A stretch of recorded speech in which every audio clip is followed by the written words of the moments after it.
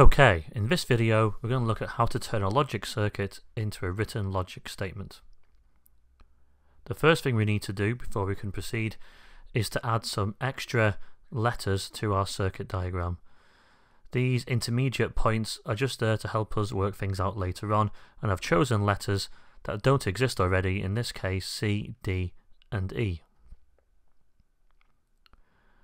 The next step is to take our final output, Z, and to work backwards. As we can see, Z is the result of E or D.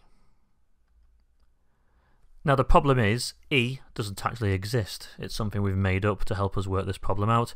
So our next step is to break E down into a further mini problem that requires a set of brackets and to expand out what E actually means. In this case, E is the equivalent of C and D.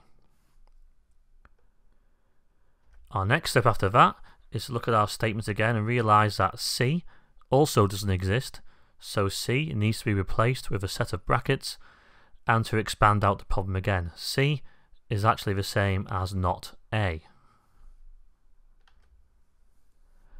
Finally, we're left with the letter D, which also doesn't exist, so D in each occurrence needs to be replaced with another set of brackets, and we need to work out what D actually is, and the expression for D is A or B.